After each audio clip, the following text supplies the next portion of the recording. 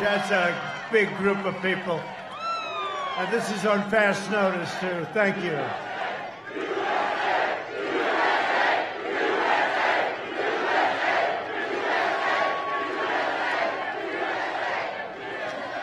Well, I just want to say hello, Minnesota. We love you, Minnesota. You're great, great, great place. We're going to win Minnesota.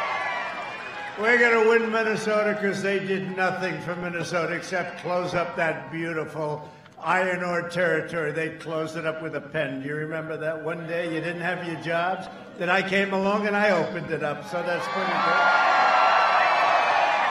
But I'm thrilled to be here with the beautiful, great, hardworking people of this incredible state. You're really hardworking American patriots. That's what you are. And a lot of people haven't been treated right until I came along, and we've done a lot of work and a lot of good work. And you had your best year ever last year. The state had the best year you've ever had. 46 days from now, we're going to win Minnesota, and we're going to win four more years in the White House.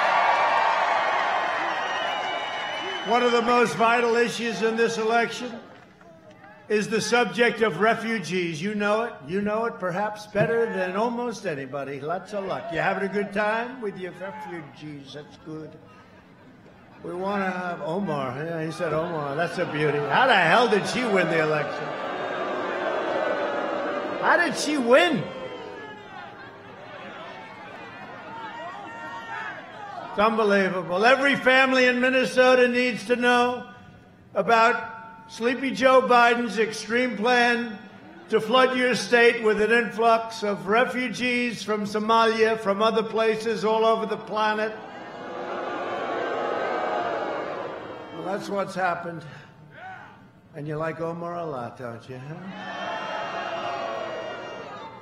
Biden has promised a 700% increase in the manifesto with Bernie, right? A 700% increase in the importation of refugees from the most dangerous places in the world, including Yemen, Syria, and Somalia. Congratulations, Minnesota. A 700% increase. Good luck, Minnesota. Enjoy yourselves. Because if I'm not here, if I don't win, I don't know where I'm going to be, but maybe I'll come over to see Mike. I'll come and see Mike. Your state will be overrun and destroyed if Biden and the radical left win. That's what's going to happen. I've been watching it for years. They haven't treated you right. They have not treated Minnesota right.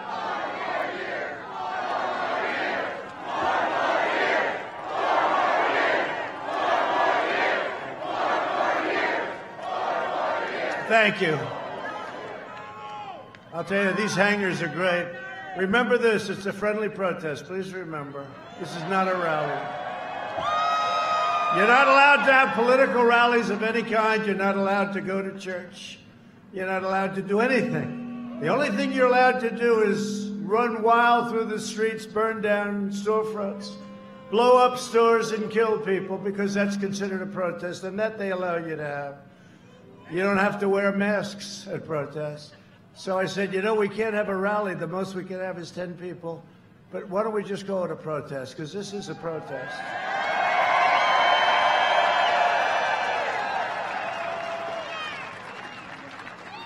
It's a protest against stupidity. And speaking about stupidity, Sleepy Joe will turn Minnesota into a refugee camp. Think of it 700% increase. So you're not happy now? Look at that guy over there. He's not too thrilled when he hears this. 700% increase is what they have in the manifesto. Now, maybe they don't honor it, but I would say they'll go substantially higher than that number. Biden will overwhelm your children's schools, overcrowd their classrooms, and inundate your hospitals. That's what'll happen. Biden has even pledged to terminate our travel ban, jihadist regions, jihadist regions. They've already been doing that to you, haven't they? Opening the floodgates to radical Islamic terrorists. My administration's keeping terrorists, extremists, and criminals the hell out of our country. We don't want them. We don't want them. We got enough of them. We've got enough of them. Just today, we deported as you know very well, dozens of Somali nationals charged or convicted with very grave crimes, including rape, assault, robbery, terrorism, and murder, of course. These hardened criminals are back in their country where they can do all the complaining they want. And your children are much safer as a result. Thank you, President Trump. Thank you.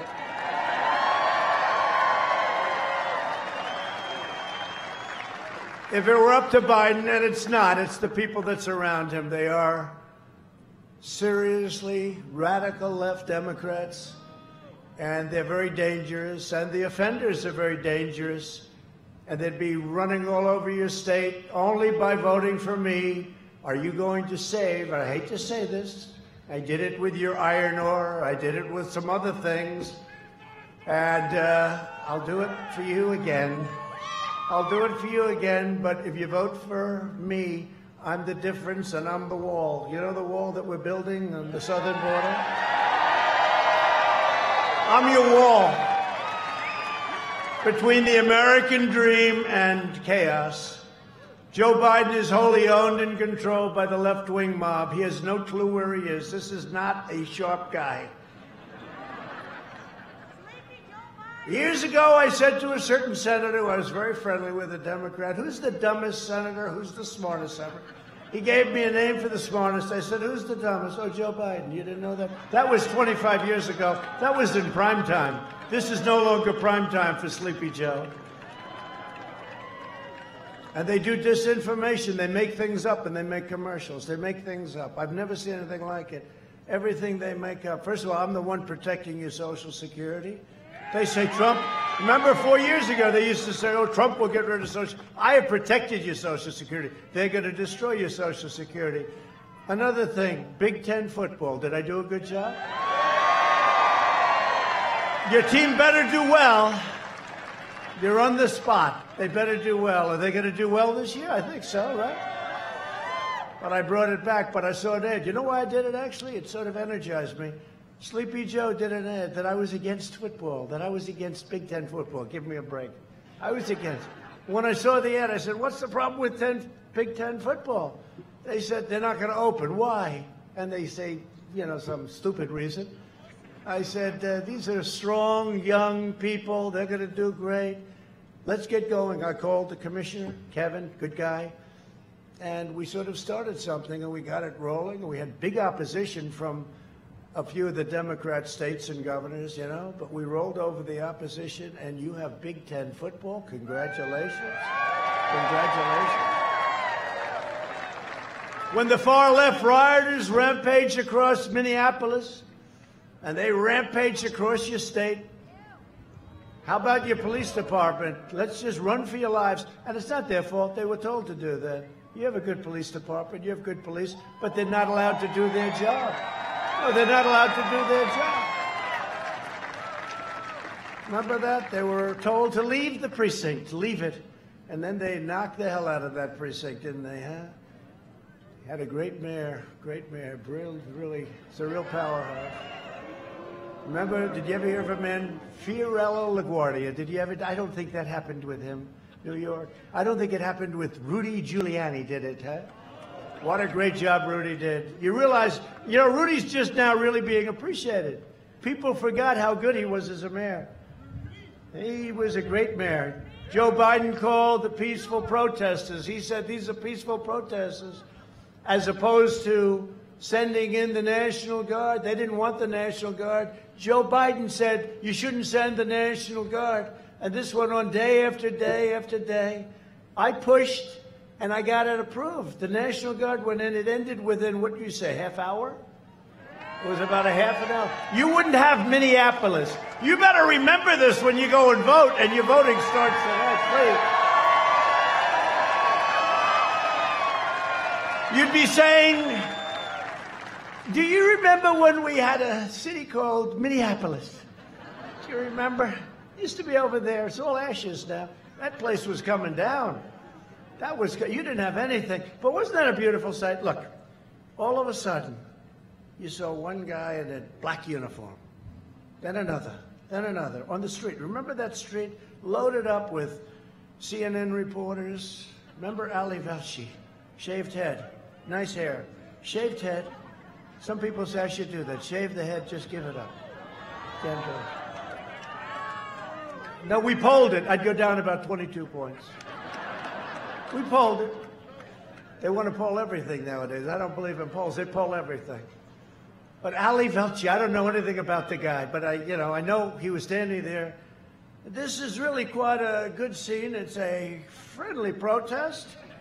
Everyone's acting, and behind him, the entire city was burning. It was like block. It's one of the great pictures of all time. The entire city was burning down. That was your city. And it's a shame it took so long, but the governor finally did it at least, you know. And if you take a look at Portland, the governor can't quite do it. She can't get there. I speak to her all the time. Come on, governor. I can straighten out Portland. Give me less than an hour. Just let us have it for, you know, because we have to get, the state has to ask for it. They have to request. It's a shame. It's such a shame. But in your case, we went, and all of a sudden, it was really, that was going to be a bad night, too, right? Remember that? About 7 o'clock? Then they see this guy walk out with about a $250,000 outfit on. That's because it had more computers and this and that. Got the tear gas deal. He's got the whole deal. Pepper spray. Got everything. The finest outfit you can buy. Believe me, we just paid for them and they're very expensive. So we see one, the helmet. How about the helmet with the goggles? And you can see at night, you can see at day, you can see whenever the hell you want. So there's one. I said, oh, that's only one guy. Then you see another three, then four. Then you see another 10. They were just getting out of the buses, coming from very friendly territory. And then you have a line, and they were very tight together. There was no social distancing at all, which we're going to have to speak to them about that. No, they were touching. It's true, they were touching, right? So you had the first line, then you had a second line, then you had a third line, then you had a. And then they said, March. I remember this guy, Welchie, he got hit on the knee with a canister of tear gas, and he went down. He didn't, he was down. My knee, my knee. Nobody cared. These guys didn't care. They moved him aside. And they just walked right through. It was like, it was the most beautiful thing. No, because after we take all that crap, for weeks and weeks, they would take this crap, and then you finally see men get up there and go right through. Did, wasn't it really a beautiful sight? It's called law and order. Law and order.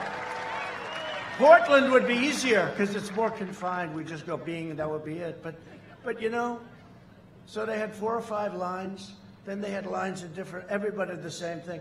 Did they ever even move one step back? I don't think so. Right? It was just a slow walk right forward. Then they just started walking faster, faster, faster. Put a lot of guys in jail, Tom. Right? Put a lot of guys, great congressman, by the way, put a lot of guys in jail. Great, not good, great. They put a lot of guys in jail that night, Tom, and uh, that was the end of it. I don't think you had any problem after that. If you had any flare ups, we'll send them in again. But that's all you do. These are Democrat run disasters. Look at Chicago. Look at Portland. Look at you with Minneapolis. These are disasters. By the way, are they still trying to get rid of your police force in Minneapolis? That's what I heard. See, they never learn. They never learn. They don't look at that lumber. You got a lot of people here.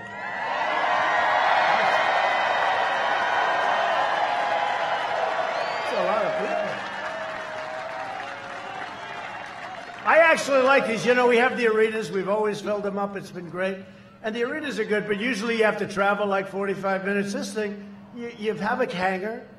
The plane becomes your, your backstop, right? It's like your curtain. You know, it's a curtain. You get a free curtain.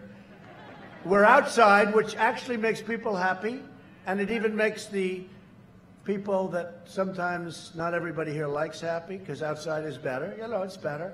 And we're rounding the turn on COVID, by the way. Our vaccines are coming, a lot of things are happening. We're rounding the turn. We've done a great job. We've done a phenomenal job. We don't get credit for that, but we'll discuss that in a minute.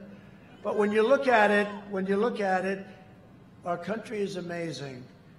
It's an amazing country. We love this country, and we're not going to let we're not going to let radical left socialists slash communists take over our country.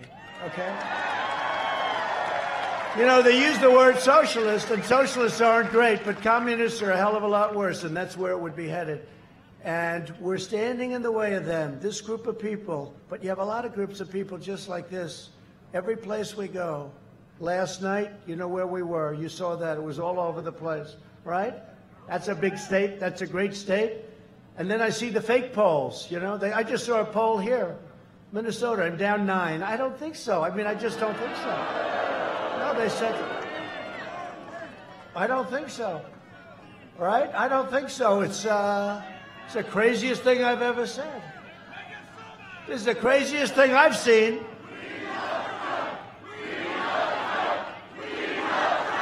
President Trump is down nine in Minnesota.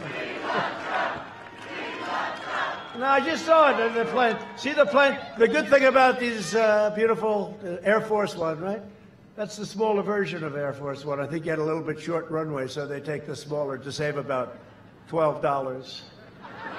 No, they took the smaller one. But the great thing about those beautiful planes, they have more televisions than any plane in history. We have televisions in the closet, on the ceilings, on the floors. I've never seen them on the. We have them all over the place. And I'm just coming out, and they said, "There he is," and they said it's a, spattering of people. They called it a spattering.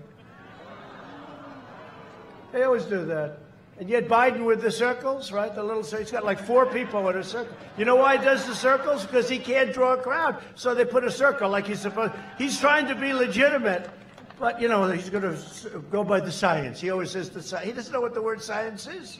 So they have these like four or five circles. They put people. That way he doesn't have to be embarrassed when he goes to a high school gymnasium and he has like 40, 50 people. They had one not so long ago, and you saw this. He couldn't draw a crowd. It was a big thing. It was his opening or something. Couldn't draw a crowd. So they made it a round table. So he went in. They only had like 32 people. They said, This is very embarrassing. One of his people, and that's, that's what they do. They're good. Some of the people surrounding him, they'll say anything and do anything. They said, Let's not make it a speech. There's nobody here. Let's make it a round table. So these people are sitting at a table. They had no idea. Most of them didn't know anything about politics. They didn't even know why they were there and now they're sitting on a round table and they're on television. But that's what it is. But they say we had a smattering of people. Yes, yeah, smattering of about what 15,000 people at about two days' notice.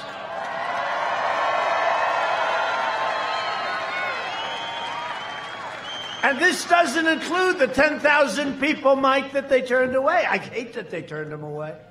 You know, you think with an airport, you wouldn't have to turn anybody away, but they have a certain amount, and then Sometimes you have Democrats running an airport, and they don't like all these people here. That's true. They don't like it. But if it were up to Biden, your state would be in ruins. And, you know, just take a look at what they've done. And I'm going to hit it hard. You know, they make phony commercials about me, and it gives me the right, like, how about the worst one of all, the worst I've ever seen? Standing on a grave of a fallen soldier. And then they had some guy, a source said, there's no source, the source doesn't exist. They make it up. And then they take it, it's called disinformation. You're not supposed to do that. And I'm not even sure if he knows. He's too weak to understand, and he's too weak to control his people. But it allows me to say whatever I want about this guy. And the truth is, he's not fit to be your president. He's not mentally fit. If Biden's elected, extremists like Representative Ilhan Omar, whatever happened to her? You had a, a great writer who has just made a living off writing about her, and she's done so many criminal acts. Isn't it damn disgraceful that she gets away with it? And I have to say to myself, I say, how the hell does she get away with that? And if we do one thing, look at General Flynn. He didn't even lie. They said he didn't lie, right? And he's gone through hell. He's gone through hell. This guy wrote page after page of criminal acts. Well, let's see what happens. Who the hell knows? But between her and how about AOC? AOC. AOC is running a campaign against a guy that was supposed to be Speaker of the House, right? Joe Crowley. I knew him a little bit. I asked him once, I said, uh, Are you campaigning against this maniac? He said, No, she's just a young girl, no problem. I called him on election night. Nah, I was going to. I was going to say, How did that work out, Joe? That didn't work. He was, he was going to speak uh, Speaker of the House. He's got a certain talent. But you know, all of a sudden she had no money, nothing. And all of a sudden she had $2 million. And she spent the $2 million all over the place, her and her boyfriend. Whatever happened to her? Can you imagine if I do that? She spent the $2 million. You got to look at that. She spent the $2 million. And big story, but that was it. That's one quick story. Oh, man, they probably the guy who wrote the story lost his job at the New York Times, right? He's now unemployed. But this is a big story. She spent $2 million on bullshit. Okay? And if a, if a Republican did that, they'd be in jail. You know that. It's a different standard and it's a disgrace. And our guys better get on the ball. Look, let me tell you. How about yesterday they were talking about Russia, Russia, Russia again. Here we go with Russia. There's never been anybody so tough on Russia with the sanctions. Remember Obama would send pillows. I said tank busters right to Ukraine. I'm the one that exposed the pipeline with Germany. Germany pays them billions and billions of dollars, and then we're supposed to protect Germany from Russia. I said, how does that work? How does that work? You're spending billions of dollars for energy to Russia. It's all okay. I'm the one that exposed it. What I've done, hey, they don't want me to go. But if you look, they don't want me to win. Russia doesn't want. Maybe uh, North Korea does, because I actually have a very good relationship with him. And you know, speaking of North Korea, and you know, it's okay to have a relationship. You don't have to go to wars. We don't have to lose our great soldiers. We don't have to. It's good. If I got along with Putin, somebody said, he gets along well with Putin. I'm saying to myself, but isn't that sort of a good thing?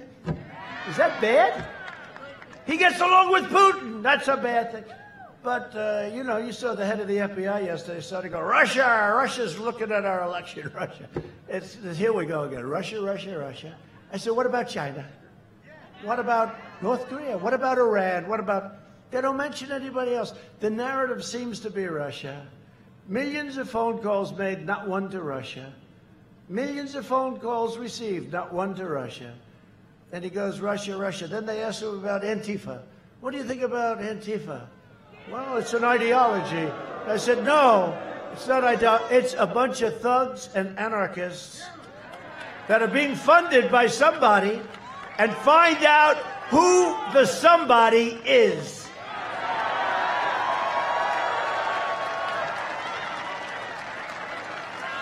It's unbelievable, unbelievable when you when you look at this stuff. But seriously, take a look at the AOC. I call it AOC plus three. You know her three people that uh, she tells what to do.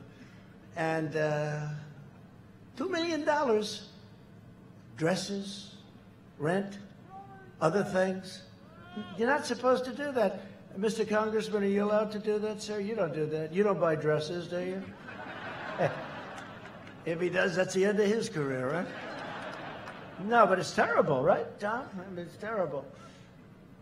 Well, prosecute him. I mean, yeah, why not? I don't, I don't understand it. I'll tell you what. You know, one a friend of mine, very sophisticated guy, very successful guy, called me up. He says, you know, from the day you came down the escalator with our great First Lady, future First Lady, said from that day, well, people love her. She gave a great speech at the Republican National Convention at the White House. She gave a great speech but said, From the day you came down the escalator with our First Lady, from the single day, you've been under investigation. You've been under investigation by sleazebags, people that now we caught cleaned up their phones. You're not allowed to do that, right, Mr. Congressman? My great hockey player, you're the greatest, right? But you're not allowed to do that. You know, we want their phones. Oh, here they are. Oh, by the way, they happen to be totally deleted, like Hillary with the 33,000 emails. She deleted them. I think they should look at that. You know, even if they don't find them, and I do believe they're in the State Department, I do believe they're in the FBI, I do believe they're in the FBI, but uh, even if you forget about them, forget them. You know, she said she had 33,000 emails, and the emails were for her yoga lessons. Now, you know, she's not big into yoga, I can tell. If she is, she's not getting her money's worth. Her, her yoga lessons and her daughter's wedding, right? So it was about the wedding and the yoga lessons. So I said, uh, okay, let's give her five or six each. What do you think, Mike? Five or six each. Five for the wedding. Make it 30, make it 100, make it a 1,000. A 1,000 for the wedding. And for the yoga, let's give her 200. Okay? What about all those thousands and thousands of emails, probably classified? So Congress, Congress. So forget about. Let's assume they're gone because she deleted them and then she acid washed them and then she hit her phones with a hammer. I get rid of phones. I've never hit them with a hammer, not even as president. I say, here, throw the phone away. No, no, I've never hit a phone. Has anybody ever gotten rid of your phone and taken a hammer and wiped the hell out of it? I don't think so. So she gets a subpoena from the U.S. Congress, not in a lawsuit against some guy that hates you and you're fighting and you're fighting or something. By the way, you do that, you got problems in court, big problems. But she gets a subpoena from Congress. U.S. subpoena, the most important subpoena you can get. They get the subpoena, and after she gets the subpoena, by a few days, everything is deleted. Her phones are busted up and cleaned and wiped and everything's gone. And nothing happens to her. Forget about what was on. Now think of how, how, how angry it makes me when I see it.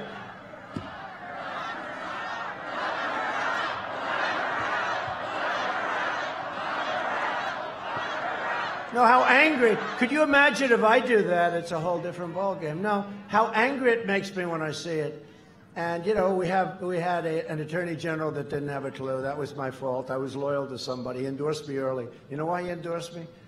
Because I went to Mobile, Alabama. We had 55,000 people show up at a stadium. He said, "I'd like to endorse you." Then after we won, he said, "I'd love to be attorney general." I said, "No, I don't think so." I mean, but after four or five times asking, I'm a loyal person, and I did it. The mistake sometimes you make is because of loyalty, but that's okay. But allowed her to get away with that is a disgrace. It's a disgrace. Maybe there's something they can do. So forget about looking for the emails, and they are available, and I guarantee they're in the State Department. I guarantee you they're in the State Department, that they ought to damn well find them. They're being protected in the State Department. But forget about that. Almost as good is the fact that you're not allowed to do what she did, and her lawyers should pay, Kendall should pay equal consequence, equal consequence, equal. But that's the way it is, and uh, but we are making a lot of progress if you see what's going on. You know, I said to myself, I'm going to stay uninvolved. I don't have to. Chief law enforcement officer, can you believe it? But I think it's better if I stay uninvolved, and I have stayed uninvolved. And we do have an excellent attorney general, Bill Barr. And I'll be honest, he's a smart guy. I think he's getting tougher and tougher and tougher every day. I think he's not going to put up with this stuff. I don't think, and you know, he's got a lot of people that are deep staters, whatever you want to call them, and they fight him at every turn. They fight him, fight him, fight him. But he's getting tougher and tougher. I watched over the last three days. I'm saying, wow, that's sort of what we're all waiting for, right? But she deletes her emails. AOC gets rid of $2 million. $2 million, gets rid of it. Nothing happens. Nothing happens. And then she goes around and calls us all like, what the hell are we? And she controls Nancy Pelosi. Actually, Nancy Pelosi would love to get rid of her, I think, you know, because Pelosi. How about Pelosi? How about that? How about Pelosi? Pelosi goes out and says, you know, I think I have my hair done. So she goes out and she goes into this beauty parlor. I told the story in Wisconsin last night. By the way, we had a great crowd in Wisconsin. You know, you have a feeling about places. You know, the problem with Minnesota is that I think since 1972, this hasn't been won by a Republican. So, you know, you're a little behind the eight ball when you hear that, right? I mean, I can understand. And Wisconsin rarely, but I won Wisconsin, unlike Minnesota. Thank you very much. Thank you very much, Tom. Thank you. Now, unlike Minnesota, but I, it's my fault. So I had one speech left. It started at one in the morning. I went to Michigan. We won Michigan. That was another one. Great state. We brought back so many auto companies into Michigan. We brought them back. But I had one. They had one. It was already voting day. It was election day because by the time I got there, it was just scheduled. Had I made that one damn stop to your state, we would have won Minnesota. I lost by what, a half a point? Half a point! But I get off the plane and they said he's in Minnesota. He's down nine. The recent poll, down nine. I believe it's a suppression poll. And you know, I'm good at, I have a, an instinct about things pretty much. Somebody said Trump has the greatest political instincts of the last 100 years. One of my enemies said that. And I said, no, I don't. I don't believe I do. I think I have lousy political instincts, but what am I going to tell you? Let me just say, they said that, and I was very impressed by the statement. In fact, I went to my wife. I said, you know, they say I have the greatest political instincts in over 100 years. And I said, but I don't believe it. I don't. I don't want to be Beto. Remember Beto? I was born to run for president. That was the end of his career. Beto O'Rourke, who's in charge of guns. By the way, he's going to take your guns away. You know that, right? Biden. Sleepy Joe. Sleepy Joe's going to take your guns away. Remember Beto on the cover of a really crummy magazine? I won't mention the name. They got a lot of bad magazines out there. The good news is most of them are dying, if not all of them. But Beto O'Rourke, he did the story, and, you know, he, he was going to defeat Ted Cruz. He was going to do all these things. Ted beat him, and I helped a lot, too. I was with Ted all the way. And, uh, and I think Ted's appreciated it. But here, I even said, I'm putting Ted Cruz as one of the people for the Supreme Court, right? And you know why I did it? You know why I did it? Because I wanted to make sure that I had somebody on the list. We had about 45 unbelievable people. Unbelievable. The smartest, the best, the absolute creme de la creme, right? The best minds in the country. Conservative. They believe in the Constitution. Okay? You know, little things, little things like that. But I said, you know, I have to have somebody that we're going to make sure we get approved. And the only one I could think of is Ted because he's going to get 50 Republican votes and he's going to get 50 Democrat votes. He'll do anything to get him out of the Senate. but I joke when I say that to Ted. But I say it all the time. Ted's the only man I know can get 100 votes from the Senate. Every single senator's going to vote for him. But he's a great guy, and he's a brilliant guy, and he's been great. He's been really great. I kid when I say that. But, you know, one of the things we've done that's so good is the Supreme Court. We have two Supreme Court justices. We will have, at the end of my term, approximately 300 federal judges, including Court of Appeals. Right? So, anyway, but just to finish, there's no way that I'm nine points down. I look at a crowd, so they say instinct, right? So I look at a crowd, and whether I have good instinct or not, this is not the crowd of somebody that's going to finish second in the state to a sleepy Joe. Finish second to a guy that cannot put two sentences together. Now, it is an ideology. It doesn't matter. I could put that broken piece of wood right there. I could put that out, and it's the same thing as Joe. It's just an ideology. It's just an idea. Now, historically, we have the biggest gap in enthusiasm of any campaign that they've ever polled. You heard that, like 36 points. In other words, they've got no enthusiasm for him. I have tremendous enthusiasm, as we can tell. But, but he does have enthusiasm to beat Trump. His only enthusiasm is put anybody in there, right? Put anybody in there. He does have enthusiasm to beat Trump. Nothing for him, but to beat Trump. Okay, but historically, that never wins. When somebody has to rely on winning because of somebody as opposed to winning because people love you, people respect you. And Sean Hannity did something the other night. He said, Would you have this man, if you owned a McDonald's hamburger stand in a reasonably busy area, would you have Joe Biden running that stand? The answer is no. He doesn't have the energy. He doesn't. So he can't run the country. No, seriously, I thought it was good. I never thought of it you wouldn't have him running your business. You wouldn't have him running a McDonald's. I have to say, or a Wendy's. I have a friend he owns Wendy's. He always gets it. Can't you ever mention Wendy's? Okay.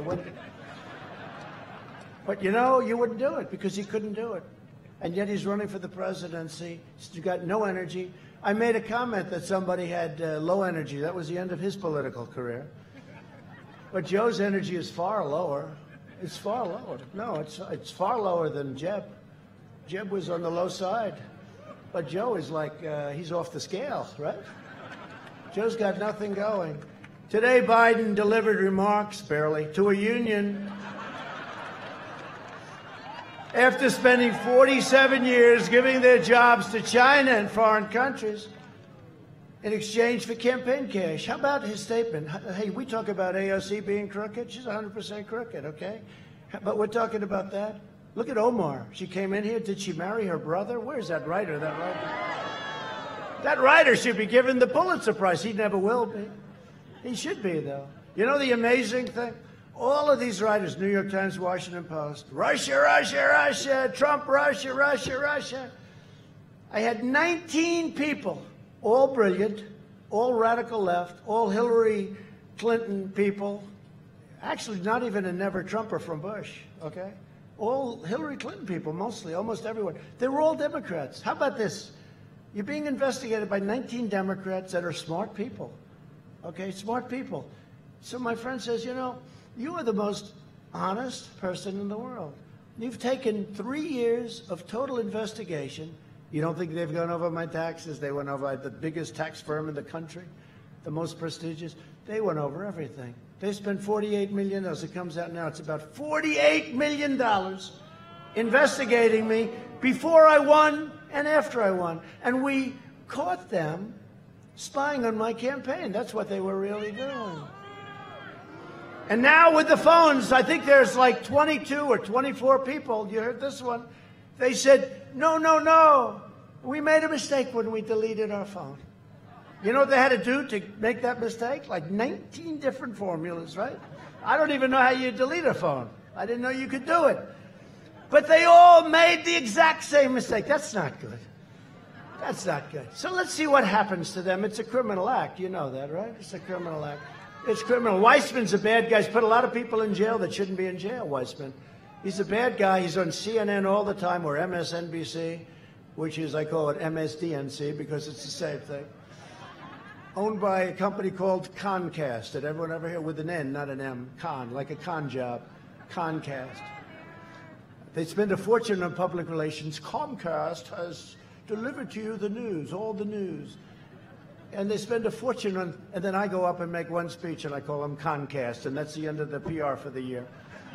They are a bad group of people. They're sick. I mean, they're sick people. They're sick and evil people. But, and they want bad things for our country. And they don't report the news. You know, in the old days, when you used public airways free, you had to get a license. I keep saying, if they're reporting fake news, how come they can keep getting a license? Whether it's ABC, whether it's NBC, CBS, or of course CNN, which is, I mean, it's one of the great jokes of all time, CNN, or MSDNC. But they're cable, so I guess there's a different standard. But when you're using the public airwaves free, okay, free, aren't you supposed to get a license? So I ask my people that. I ask a couple of guys, and I never really get an answer. I just want to know a simple question. Do you have to report the truth when you're using free airways and make it a fortune with commercials and everything else? And I never get the right answer because there are people down deep. It's crazy. But we're getting down to all of it. A lot of progress has been made. I think you're starting to see it. We're trying to beat a terrible group of deep state people. You know, I came to Washington. Think of it. Think of it. I came to Washington. And I had 24 years of people putting people in office. And then you can probably add another four to that and another four to that. I had many, many years, decades of people putting it. So I came, never been to Washington, I guess 17 times. I never stayed over, right? Never slept over. I was there 17 times. I tell the story. I was in Washington in my entire life, D.C., 17 times, never slept over, ever, not once. And all of a sudden, I'm riding down Pennsylvania Avenue, and I'm with a beautiful woman on my right named Melania. Think of this. And I had about 400 motorcycles in front of me. And we're in a cavalcade of about 128 cars, most of them having about 15 submachine guns inside. There's more firepower in this guy. But we're riding down the beautiful Pennsylvania Avenue, And I look outside at those police. I love our police. We got to treat our police. But I had everything. I had police. I had military. I had soldiers. I had everything you could possibly had. You never saw so much power and strength and beauty, the beauty, and they were so proud. They're all saluting. They're so proud. They're happy to have gotten rid of that crowd that was there before us. They're proud. They're, they're great. The police. You know, every single police force, I think, endorsed me. I got the one yesterday from Chicago. That's not easy. Chicago endorsed me. New York's finest endorsed me. Florida. Ohio. Every, I mean, everybody. I don't know that he's gotten one vote. That he says he's, he can't mention the words law and order. But I'm driving down the street and I look at my wife. I say, do you believe it? I'm the President of the United States. That's the good thing. But can you believe it? And then I get to the most beautiful house in the world. I can have Mar-a-Lago and all of them, but I'll tell you, the White House is still the White House, no matter how you do it. And I get to this gorgeous, beautiful place. And I'm up at the incredible suite level and there's Abraham Lincoln suite. It's called the Lincoln bedroom. Remember, Clinton used to lease it out to people for money. They never changed, do they? Remember when Barbra Streisand? She's another beauty, by the way. But remember, Barbra Streisand used to stay in that suite, but uh, which was the only problem I had with it. But tell me, no, but I do like her voice. I do. I really do. Some of them I don't like even their voices. But she used to stay there, and I'm standing in the Lincoln bedroom, the history, the whole thing, the bed, the desk, the Gettysburg Address, the beautiful, four score and seven years ago, this beautiful Gettysburg Address. He wrote it there, and also on his carriage ride up to Gettysburg. He delivered the Gettysburg Address, and they say the only one that got worse press than I did was Abraham Lincoln. Did anyone ever hear that? And I said, no way they get worse. Maybe he got bad, but no way he gets worse. I, uh, now people are starting to say, you know, it's probably true. I think you get the worst. Now they're actually, they used to say, no, no, Newt Gingrich, great guy. He said, nope, Abraham Lincoln got the worst press. They were worse to him than anybody. He was a very depressed person. His wife was very depressed. It was a depressed kind of a thing. You know, he's in a war, he's in a revolution. And uh, he was getting beaten a lot by Robert E. Lee. They want to rip his statue down all over the place. But Robert E. Lee, Robert E. Lee was a, whether you like him or not, whether you like statues or not, you know, they don't rip statues down anymore. Signed to law. Ten years in jail. They don't rip them down. But Robert E. Lee won many, many battles in a row. And it was supposed to be over in one day. You know, it was supposed to end immediately because the North was too powerful for the South. But it just shows when you have leaders, when you have a great general, and Robert E. Lee, he would have won except for Gettysburg, and that was because his general was killed, who was going to lead Gettysburg. Never fight uphill, me boys, never fight uphill. He heard they were going uphill. Stop them, stop them. But we had no cell phones in that day, right, Congressman? No cell phones. So they sent the horses to stop them, stop them, but it was too late. They fought uphill and they got slaughtered. That's what happened. But Robert E. Lee. These were incredible things. But I hope you, I hope you appreciate that we had a period of time when they were ripping down all of the statues and monuments. And I said to my people four months ago, I said, this is crazy.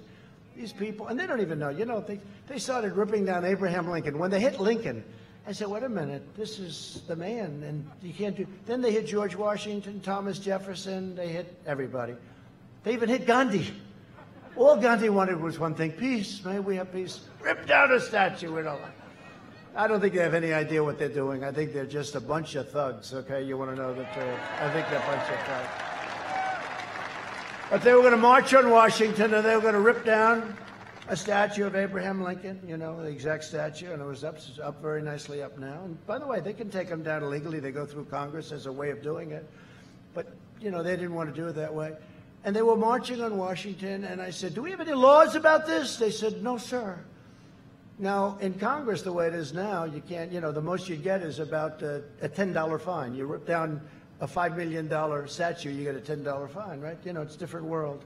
That's uh, when it was strong, they had laws. But we told and found this old act. And the old act said if you rip down a monument or a statue, you get 10 years in prison. They call it prison, not jail, which sounds even worse.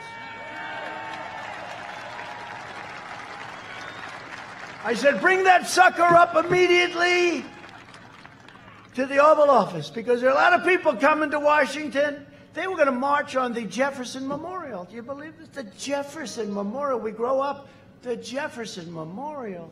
They were going to march on the Jefferson Memorial. They were going to do damage to our beautiful Jefferson Memorial after Thomas Jefferson. And I did predict that. A friend of mine said, You know, two years ago, you said Next will be Robert E. Lee. And then comes Washington and Jefferson and Lincoln. They never stop. The only thing they understand is strength. Remember that. They don't understand weakness. There's nothing you can do. These really stupid heads of these corporations that give hundreds of millions of dollars. It's like blackmail money, right? But these stupid people that run, they get $40 million a year and they're weak. Okay? They're weak. But the only thing these people, they're anarchists, the only thing they understand is strength. So I said, let me see this uh, document. I said, wow, this is a very strong document. And we have, Derek is here, one of my attorneys. He did a great job. I don't know where the hell Derek is. He's around here. Actually, he's heard this before, although not quite. This is, you're getting a very unique speech tonight, you know. I mean, unlike Joe, I haven't even looked at the teleprompter. This guy. Move it up. Move it up. I can't. Move it up.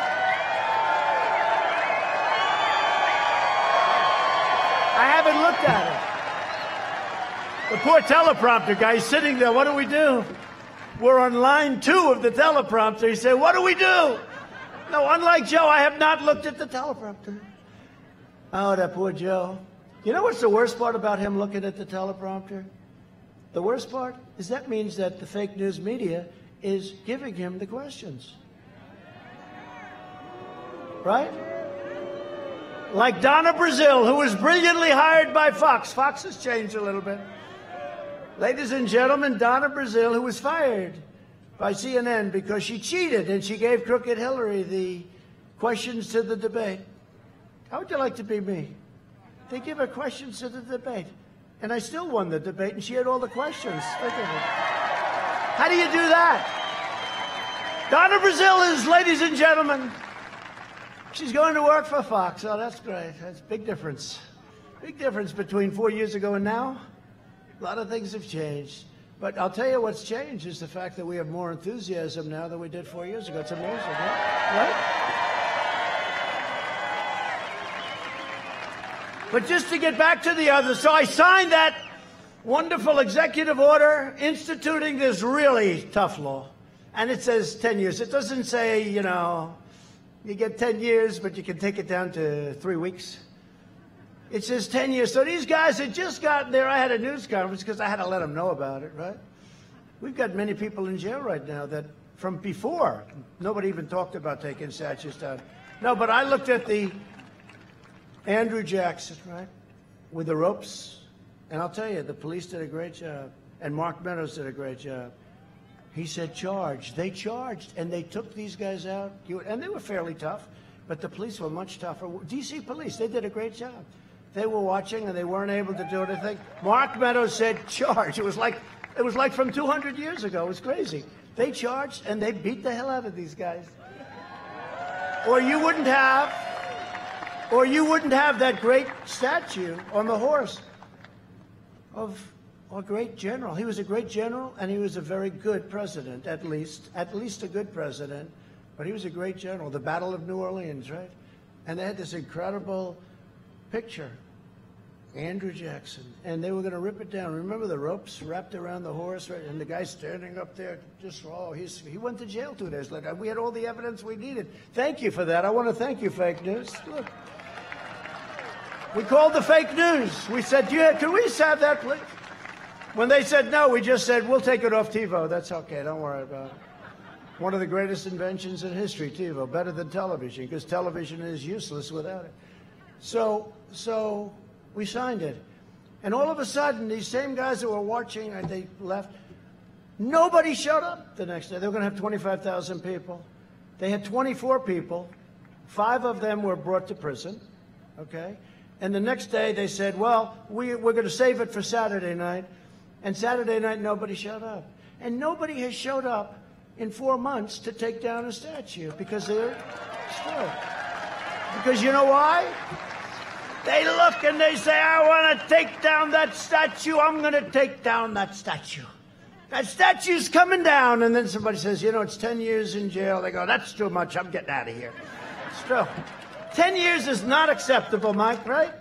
10 years is a lot to rip down a statue, have a little fun, especially when they have no idea what they're ripping down. But we have an idea what they're ripping down. They're ripping down, in many cases, greatness. They're ripping down our past. They're ripping down our history. And that's where these guys begin. They take away your history. You look at the Middle East, you look all over. Look what ISIS did. Look what all of them do. They go down and they rip, they go into museums and they break everything and they rip everything. They want to take away your past. They're not taking away the past of the United States of America. Not as long as I'm here.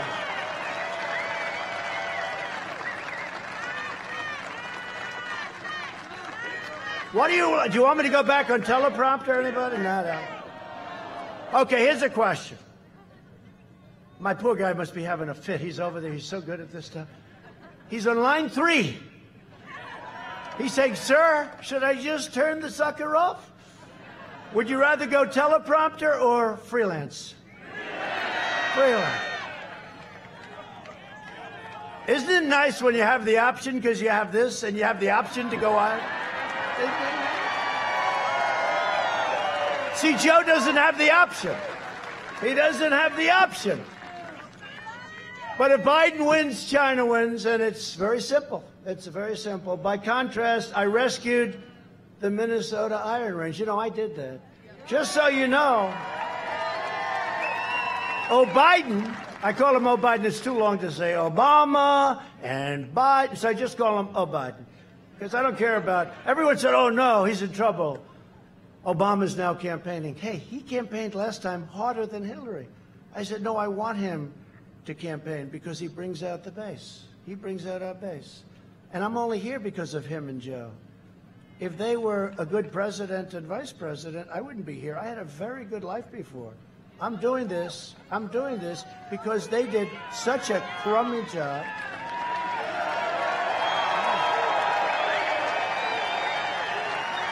I'm only here because of them.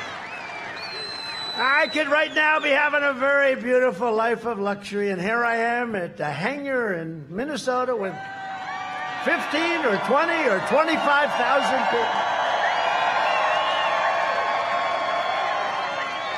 And thousands of people that couldn't get in, and I'm working my ass off. I could be at home having a good time, wonderful time.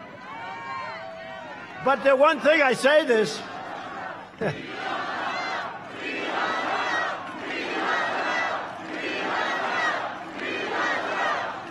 But I, I, say this, I say this, look, I could be home. So home was New York. I had to bail out because it was too crazy. It's, everything is falling apart.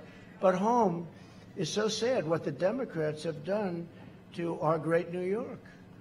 Between a governor and a mayor, the crime is through the roof. The corruption is incredible. It's a sad thing that's happened to New York. Hopefully, it'll come back by somebody. Somebody will go in there and do like a Rudy. You know, when Rudy took over, it was so bad. And they were looking for somebody, and they thought he was the guy because he was a tough guy. But somebody has to go in and clean it up. Somebody has to, you know, uh, this mayor, he let go of a billion dollars worth of police. He let go. He actually believed the, the nonsense about defunding the police. And they're all going to do it. They're all going to do it. And your people are going to do it. And you really, I'm being totally serious now. You've got to go out and you've got to vote for Trump. You got to, you got to break this spell from 1972.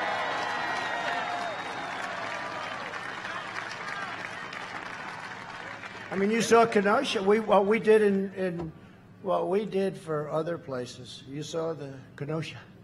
And uh, that was gone. That was all gone. That place was gone. We sent in the troops. It was uh, incredible what we did. And they did it on day three. Day three is better than two weeks later, like in Minneapolis, right? But they did it, and we've done a great job. And the people of that great state, they understand it. And I just hope the people of your state, of Minnesota, understand it. Because we don't have too many more chances with this stuff. We really don't. We don't have the luxury of sitting back and saying, let's have four years of this maniac vice president that, pick, that he picked, who treated him worse than any other person. That's why I say the one per person that he won't pick, my great instincts, right? The one person he won't pick is Kamala. Because she called him a racist. She tried to me too him. You know, he was me too'd. I've just been me too, darling. What does that mean? But they tried to me too him. And she was the one that brought it up. Remember Tara? She was the one that brought it up. And then he goes, Ladies and gentlemen, I'd like to pick. Wait a minute, let me get her name here. How do you pronounce it? It's with a comma, like a comma, right? Like a comma. Remember, he couldn't pronounce her name. He was saying her name wrong, and she had to interrupt him. No, my name's Kamala, like comma. I remember that, like a comma right? H1N1. That's right, Joe. Remember that, Joe? H1N1. And how bad did he do in that, though? How about that? How bad did he do? So, now, but think of it. He's out there now today. It, it, was pathetic. By the way, did you see the Anderson Cooper thing last night? You have to watch. I don't want to watch, but I have an obligation. You know, I'm competing against somebody. You don't want to compete and say, I'm not going to watch my competition. Who wouldn't? It's boring. But I got to watch. And he got through it. He made a couple of really, the chicken thing was bad. You know, he ch- said chicken many, many times, and it was a little, little strange there. I thought it was over, and he pulled it back. He was able to pull it back, but Anderson is, uh, and he interviewed me. He's tough. You know, he can be tough. Nothing against him. He could be very tough. But last night, he was in rare form. He was, uh, thank you very much for being here, Mr. Vice President. Are you enjoying the run? And compare that with my shot, where they asked me about doing ABC with George Stephanopoulos. I mean, I think it was great. I think it worked out great. I call it, you know what I call it? Debate prep. I call that free debate prep. But you know, it's nasty. It's a little nasty. Had people, and they, I didn't say, no, you got to change the rules. No, give me the questions. I want to use a teleprompter to answer. How about that, though? Mr. Vice President, uh, I'd like to know your feeling on nuclear warfare and how does that relate to China and Russia, and where are they in the race, right? Uh, well, you can't have this as your president. I don't care. Forget about me. You can't do this. The power, the, the, the importance and the power of this position are too great. You can't do it. You know, I've learned a lot as president. But one thing I learned is that President Xi of China is sharp.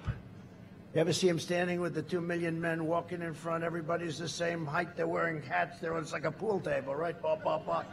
And he's standing there by himself and he's looking like he's not playing games, right? There's no games. He's sharp as you can be.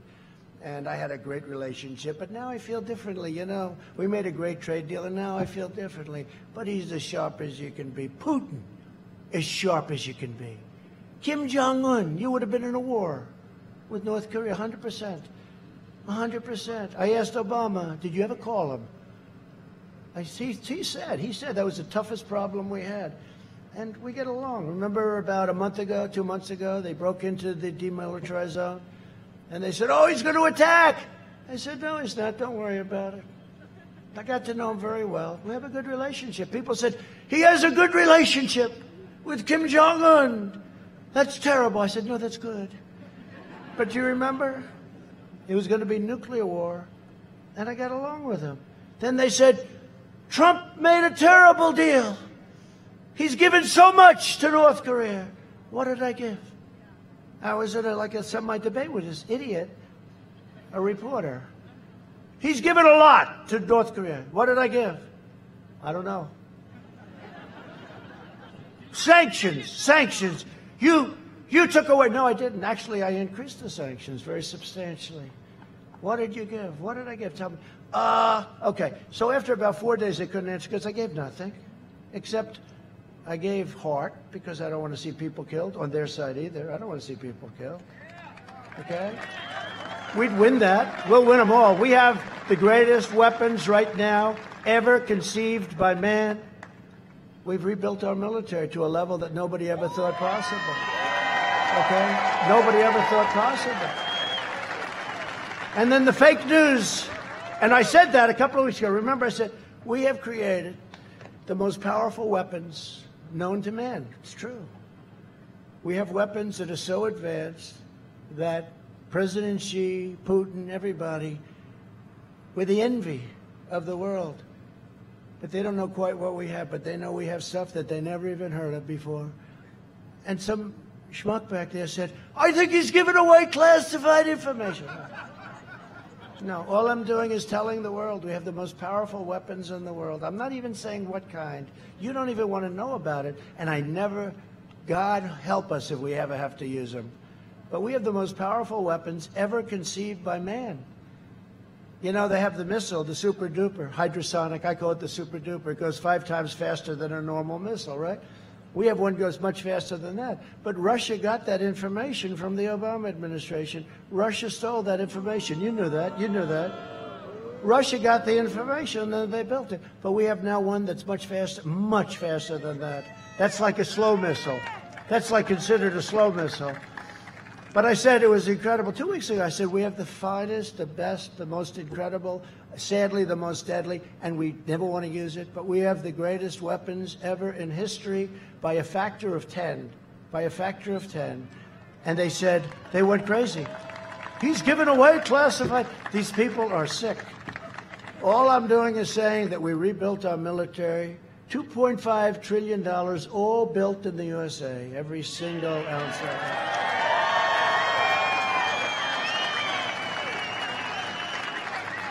We have fighter jets, F 35, that are so good you can't see it.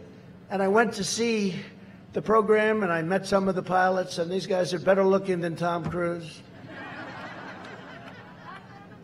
They're tougher, they're stronger, they're bigger, they're more powerful.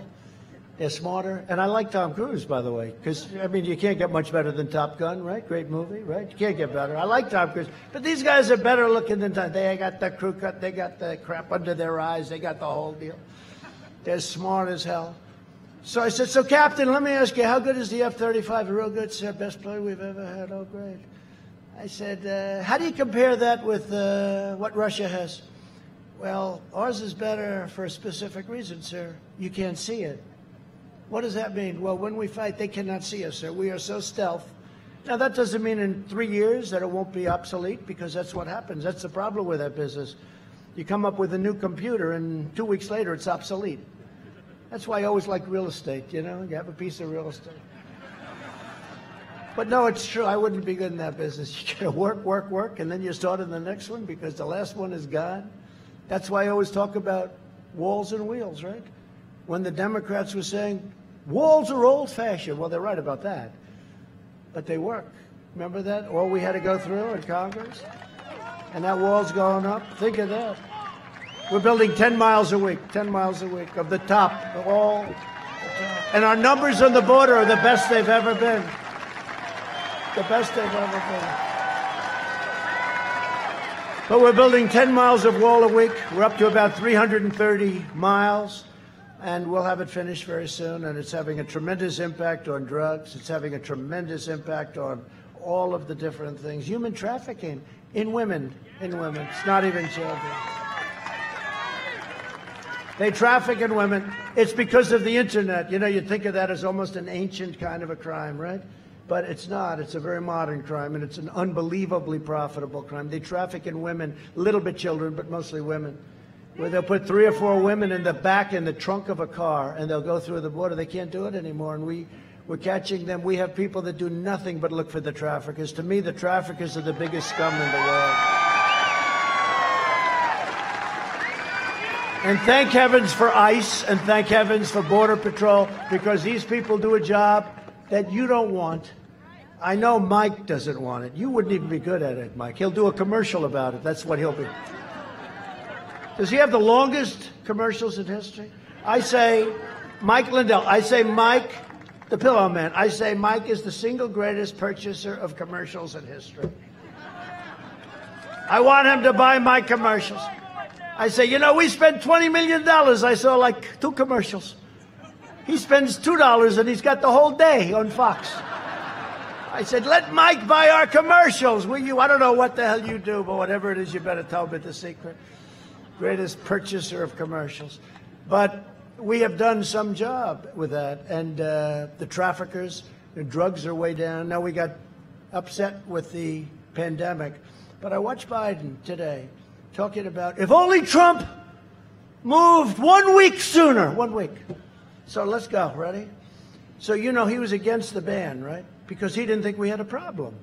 So he was against the ban. He didn't know that China was heavily infected. He doesn't even know what China is, in my opinion. But he was against the ban. These guys write stuff out for him, and he tries to read it. Doesn't do well with it. But. So he was against it. But now his new thing is, if only I moved one week earlier. But I was earlier than everybody, if you think about it. I had nice guy, Dr. Fauci. I had another nice guy. A lot of doctors, they were all telling me, no, no, you don't have to do that, right? Tom knows that very well. You don't have to do that, sir. You don't have to do that. You don't have to do that at all. And, uh, you know, one of those things, I was very early and I banned, and everybody admits that had I not banned highly infected Wuhan, Wuhan province, right? Highly infected, we would have had hundreds of thousands of more deaths. And then you had the chart. I put it up yesterday. I'm doing these news conferences. We're finally getting the word across that we did a great job, but I'm doing news conferences now every day. You know, even if they last highly, I call them the highly rated news conferences. And I go before these crazy people. They're screaming at, you know, screaming like maniacs, you know. It's not the way they treat Sleepy Joe. He'd melt if they ever did a number on, this guy would be there. He'd be laying on the floor crying, get me out of here, darling. Where's my wife? Get me out of here, please, darling. They're so nasty to me today. What happened? We go through it every single day. But you think about it, and uh, he said, if only Trump moved faster. But he's the one that two months later called me xenophobic, and he called me a racist because I was banning China, which was heavily infected. And then he said, don't ban Europe. Well, I looked at Italy, big problem. I love Italy. I love the people of Italy. But they were heavily infected. France, I looked at France. I looked at Spain. They even had spikes recently. Did you see? And we're doing great. We're rounding it with or without, but we're going to have with. But, you know, with is better. But with or without, we're rounding that corner. And we're rounding it fast. And they don't want to give us any credit because they want to keep this up till November 4th. And on November 4th, the press will probably say, let's say something stupid happened. The press will say, I got to admit, he did a damn good job. Right? No, no. And the other clown will be in office. You know, we did a thing called price transparency. I signed it. It's effective as a very complicated. It's on your medical. And we did price transparency.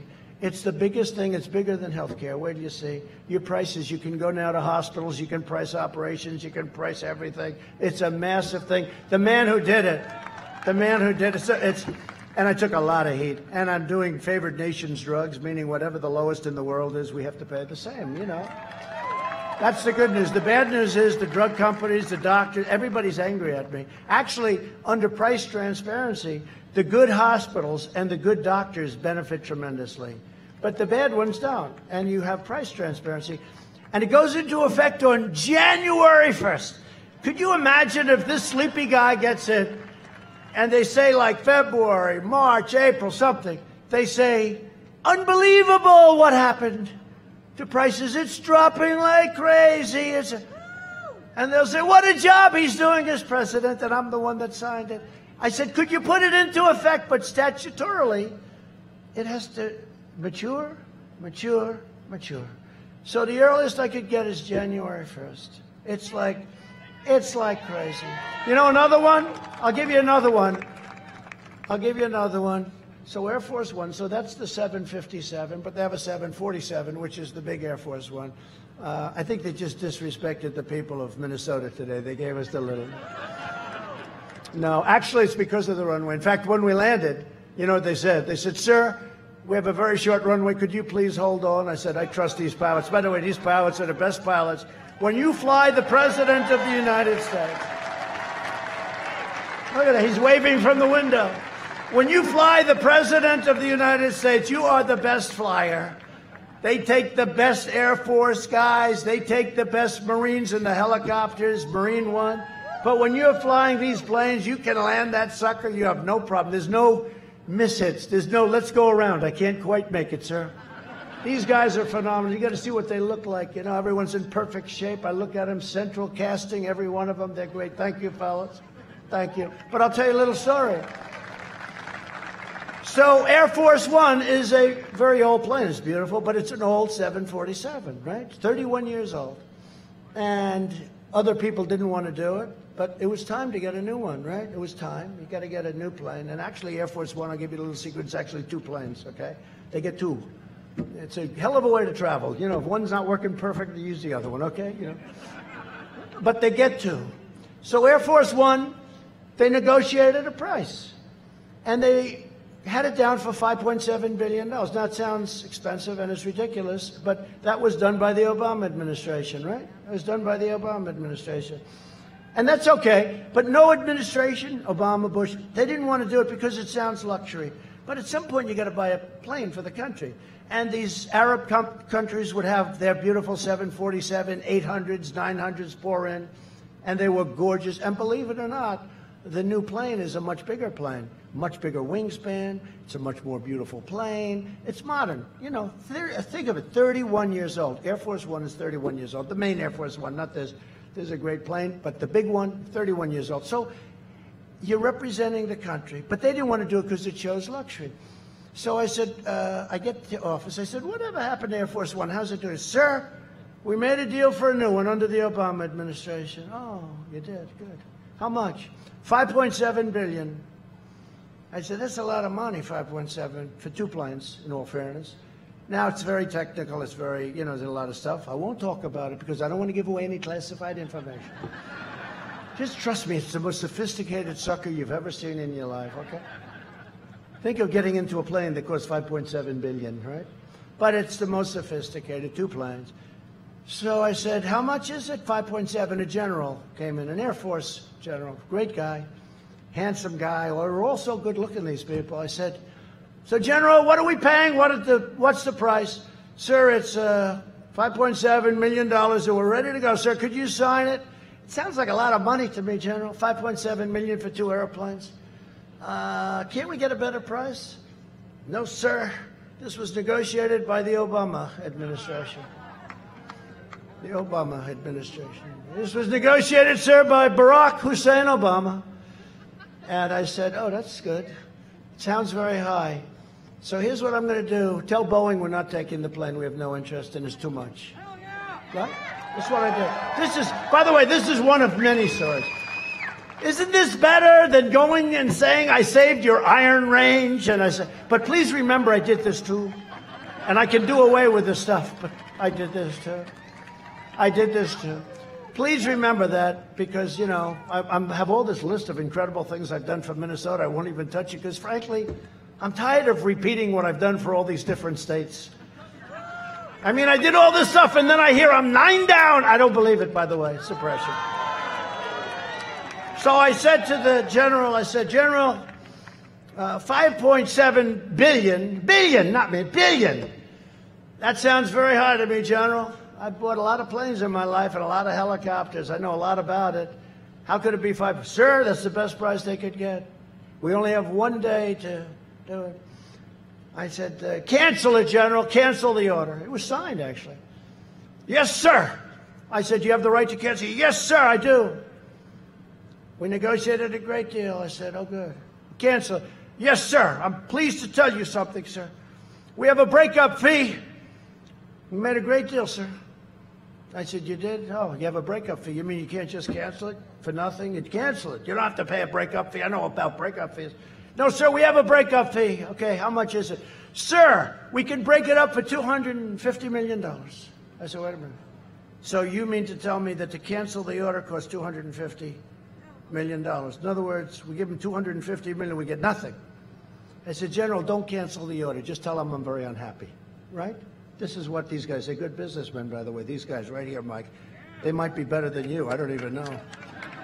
He may be the next governor. You know, Mike Lindell may be. You should run.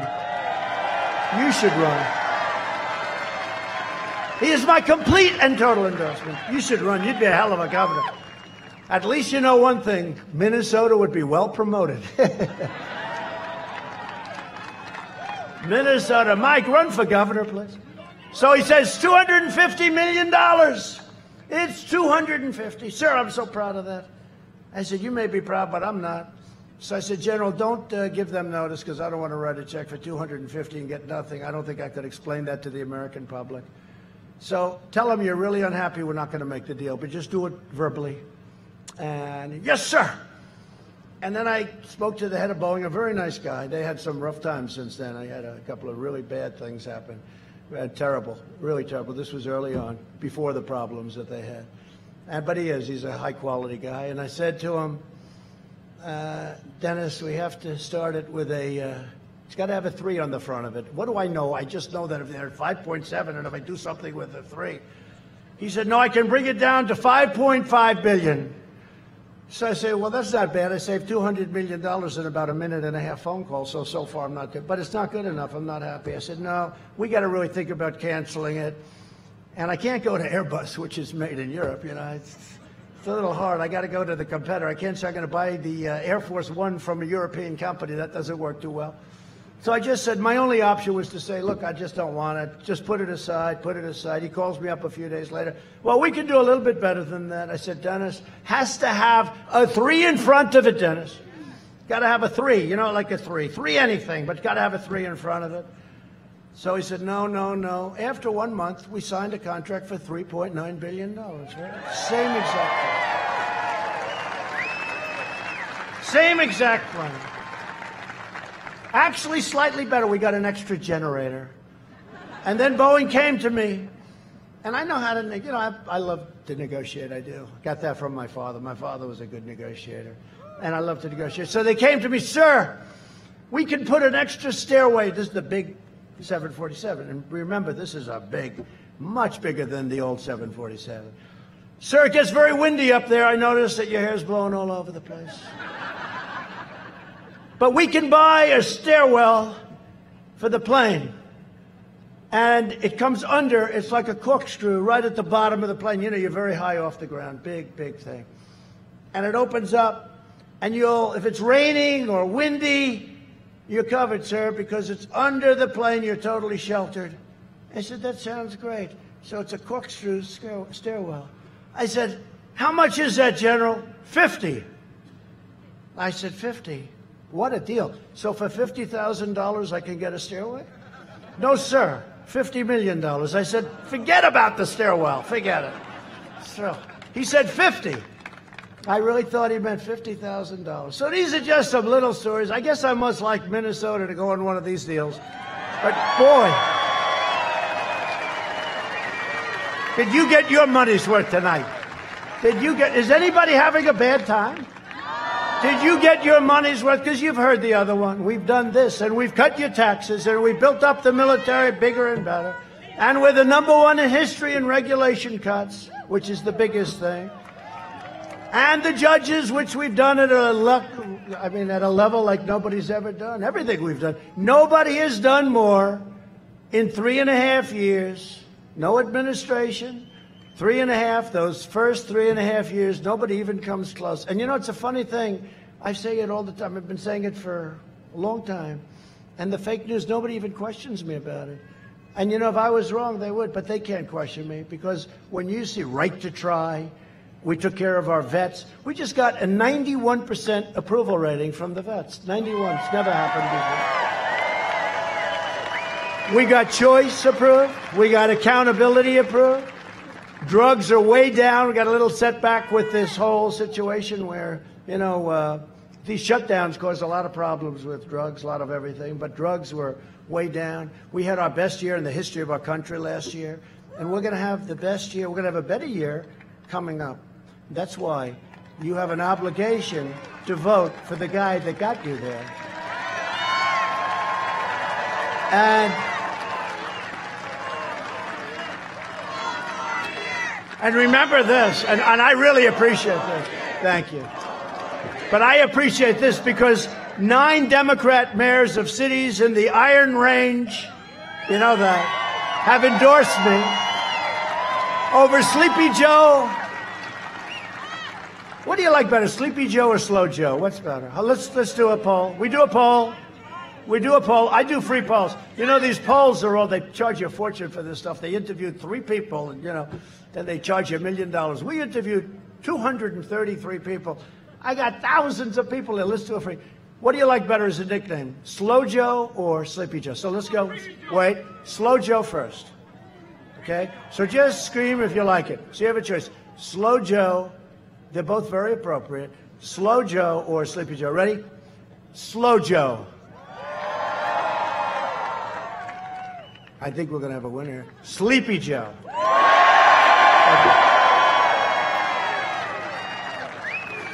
Now, a lot of people say I'm too nice at Sleepy Joe, that I'm actually being too nice. I don't know. He's a sleepy guy. But Biden is going to shut down your iron range. Remember, it, it wasn't just the tariffs I put on your competitors that were dumping iron ore and steel and everything else in our country like it was garbage, okay? And it was garbage steel, too. It was all sand based steel, real crap.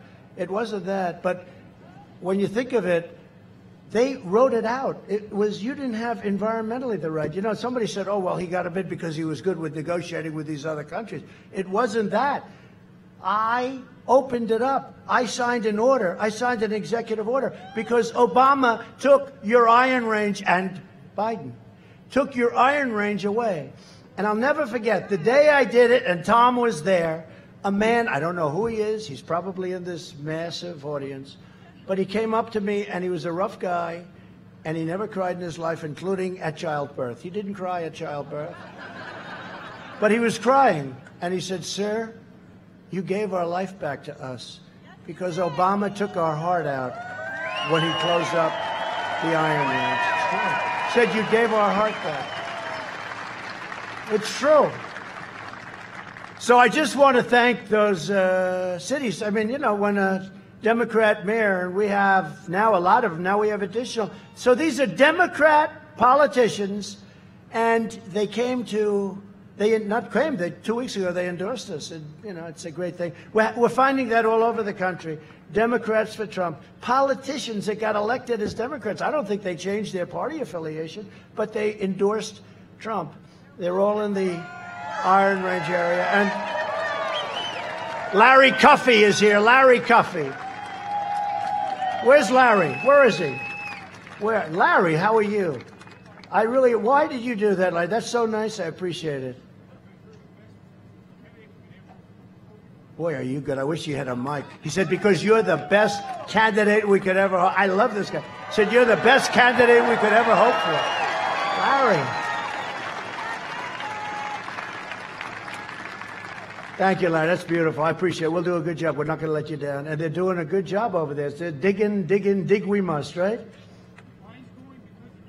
It's all going because of me. That's cool, man. Thank you. That's cool.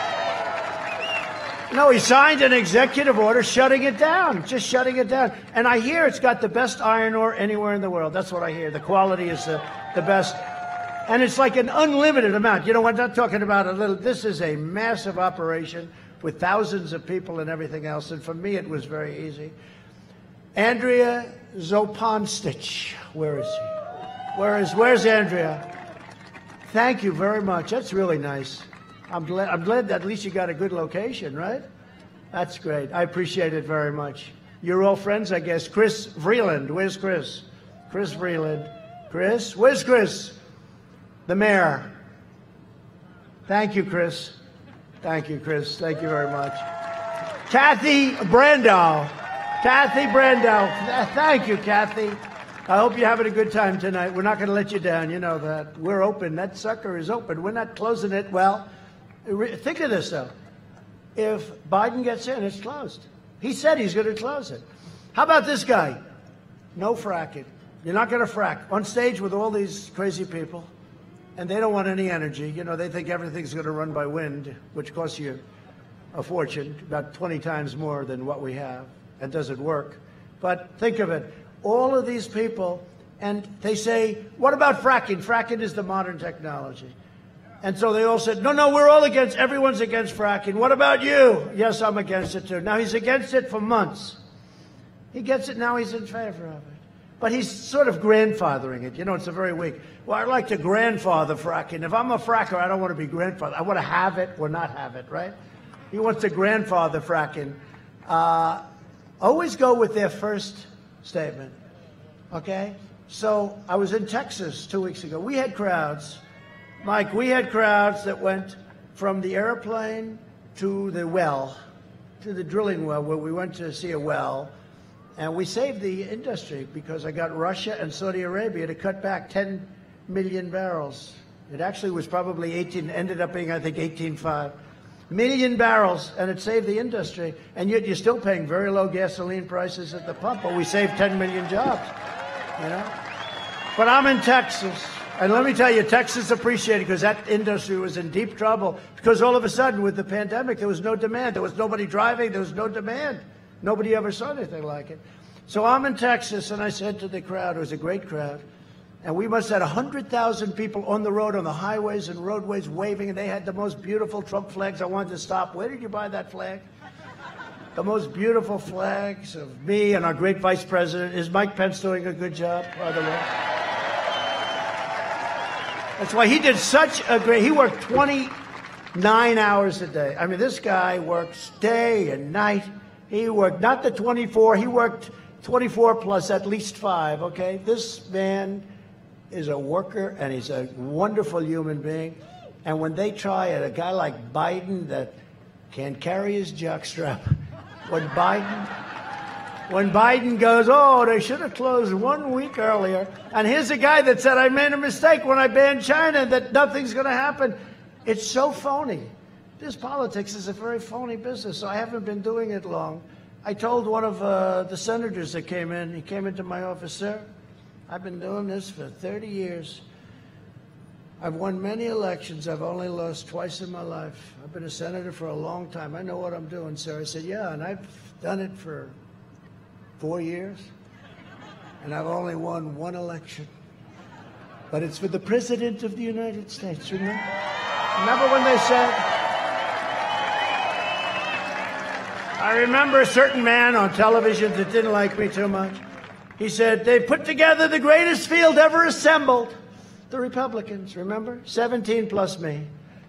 They put together the greatest field of talent ever assembled.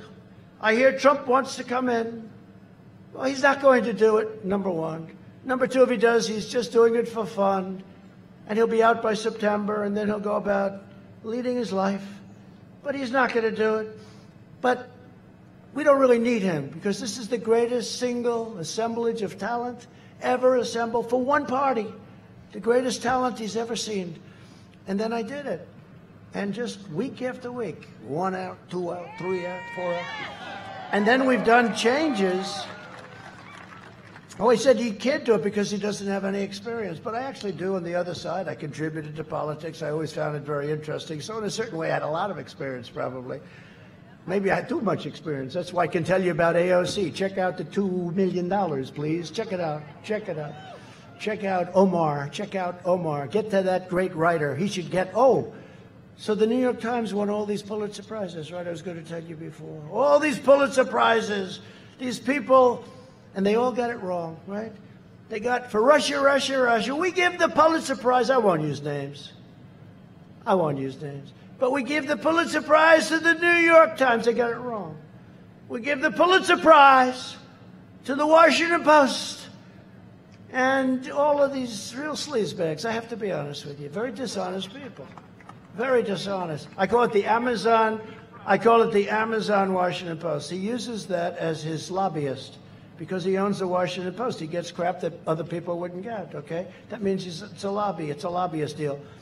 But they got the prize, right? They got the Pulitzer Prize. All the guys that got it right, that really got it right, they all got it wrong, totally wrong. And they should return the Pulitzer Prize. And Pulitzer Association The committee should ask for those prizes back. They got it all wrong. They were 100% wrong. There was no collusion. They couldn't believe. Remember the day when it was announced? After three years, there is no collusion. I could have told them that on day one. They could have saved $48 million. All right? They got the Pulitzer. And then you take guys, so many, so many. Solomon, Sarah Carter, Bongino. How about Dan Bongino?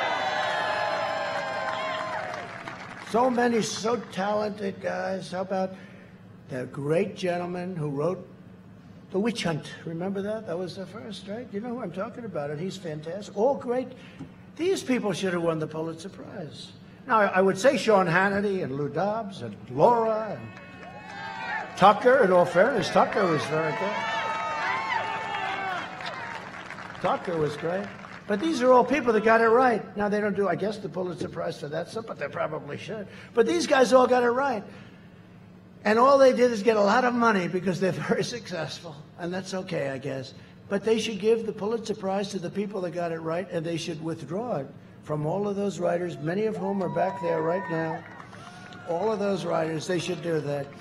So, just to finish up, just to finish up, I want to just say that we have some great congressmen here. I'd love you guys to come up here because I just want to have you come up. Would you come up?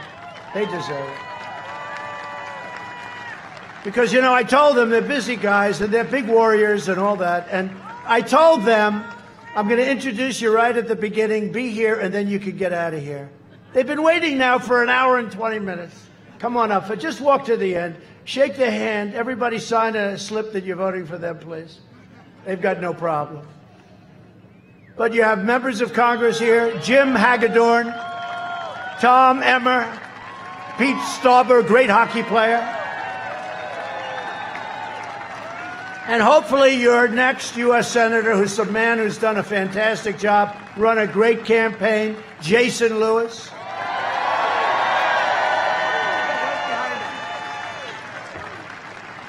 And a candidate for Congress, Michelle Fischbach, who's supposed to be fantastic.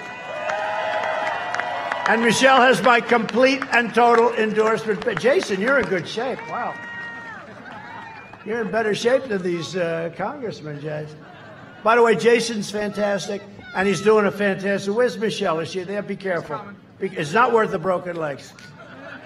Look at her. Oh, she's a warrior. I can tell. Come on up. But thanks, Michelle. And they have my complete endorsement. They're great people. They love your state. They love our country. So, just in conclusion, I want to say that over the next four years, we will make America into the manufacturing superpower of the world, and we will end our reliance on China once and for all. We will make our medical supplies right here in the United States.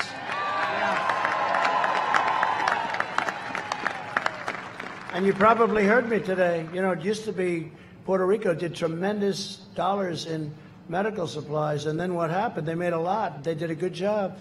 And Obama Biden destroyed it. They took away the incentive, all of the taxes, and they took away the incentive. And Puerto Rico went down a long way. We'll get some of that back to Puerto Rico and we'll get it back fast. Take it away from China.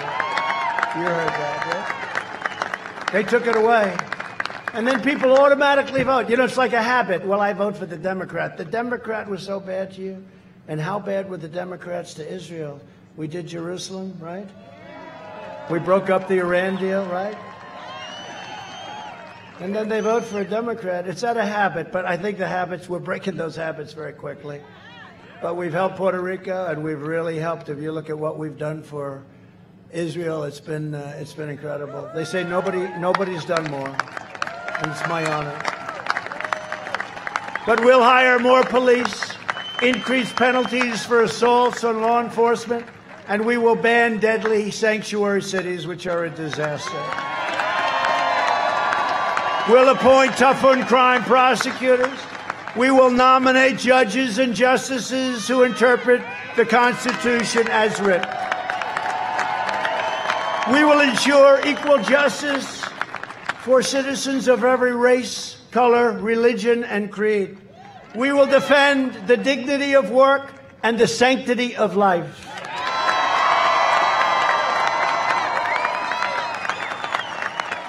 And that's why the Supreme Court is so important. The next president will get one, two, three, or four Supreme Court justices. I had to. Many presidents have had none. They've had none because they're there for a long time. They tend to be appointed young. They're there for a long time. But the next one will have anywhere from one to four. Think of that. That will totally change when you talk about life, when you talk about Second Amendment, when you talk about things that are so important to you you're going to be stuck for 40 years, 35 years, a long time.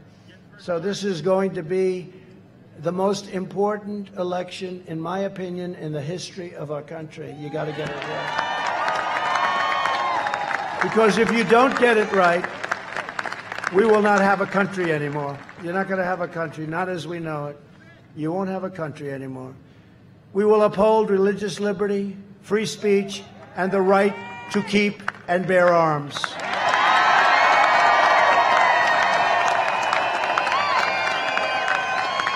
We will strike down terrorists who threaten our citizens, and we will keep America out of these ridiculous, horrible, endless foreign wars, countries you never heard of. Coming home. We will maintain America's unrivaled military might, and we will ensure peace through strength. That's what we have now peace through strength. Remember what I told you about those weapons. We don't want to use ever, we don't want to use those weapons.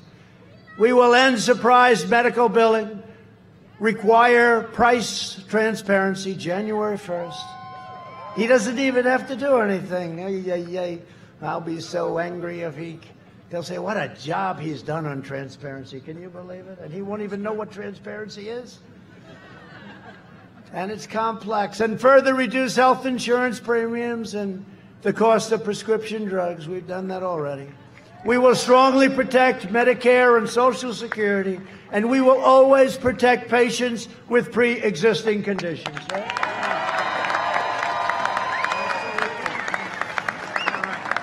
America will land the first woman on the moon and the United States will be the first nation to land an astronaut on Mars.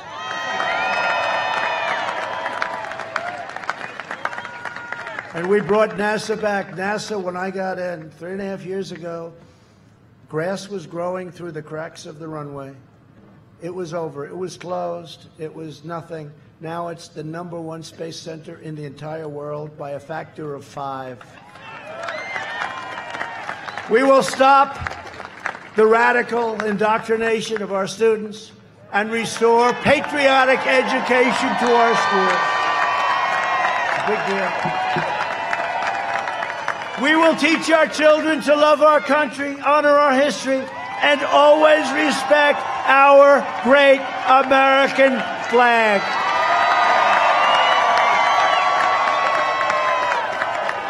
And we will live by the timeless words of our national motto In God we trust. You know, you know that the Democrat National Convention and the Pledge of Allegiance at a caucus, two of them, not one. I heard the first one. I said, oh, they must have made a mistake.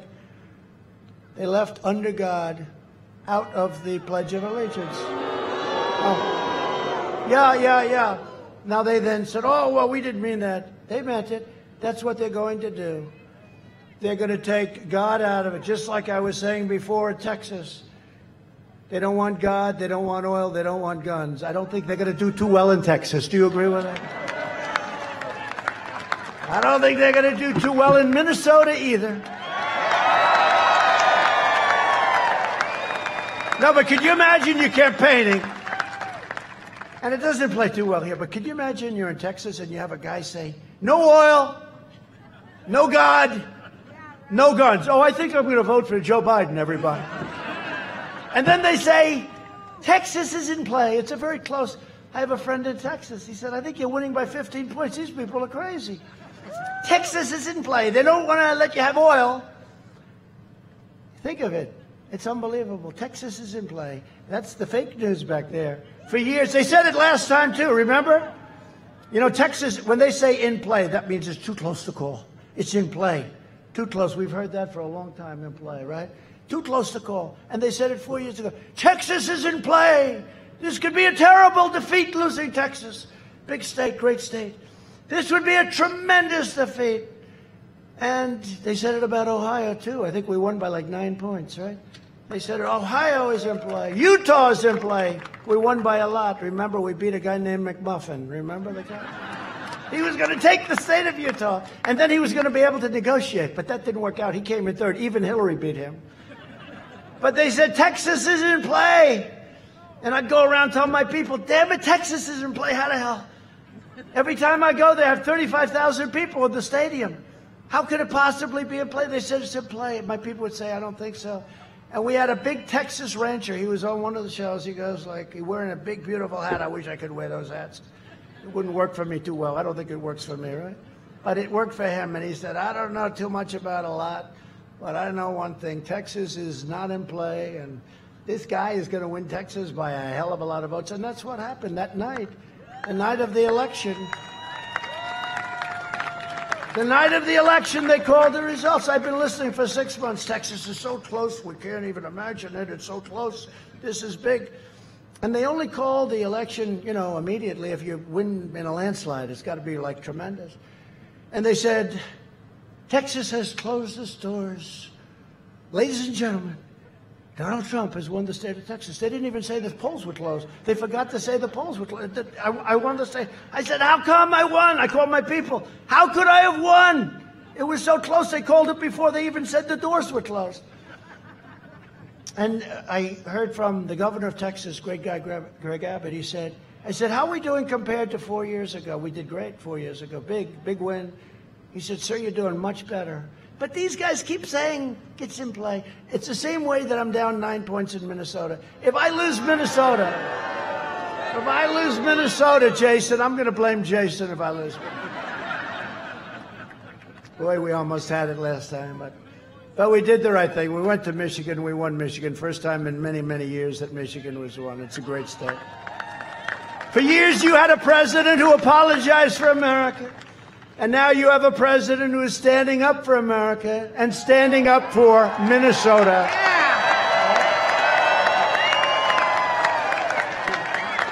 So get your friends, get your family, get your neighbors, get your coworkers, and get out and vote. And you know, it started today in Minnesota. That's why I'm here. It started today. Go out of here. You know what? If the if they're closed, what the hell time is it now? if they're closed, just stand in line like you do. You know, people were here two days ago trying to get in here. It's crazy. So do the same thing at the voting booth, please.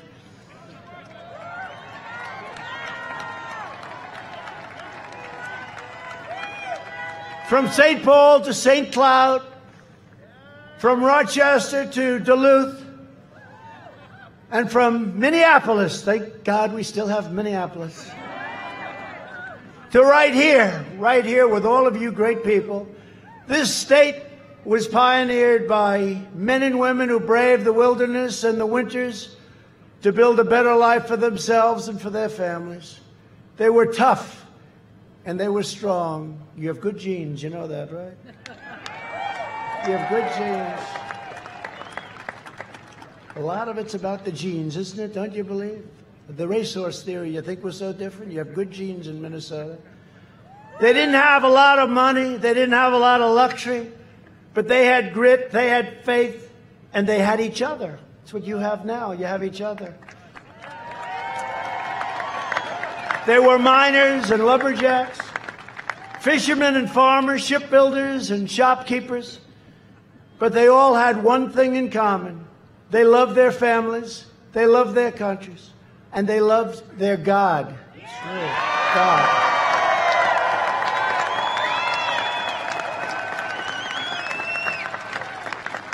Proud citizens like you help build this country, and together we are taking back our country. We are returning power to you, the American people. With your help, your devotion, and your drive, we are going to keep on working. We are going to keep on fighting and we are going to keep on winning, winning, winning.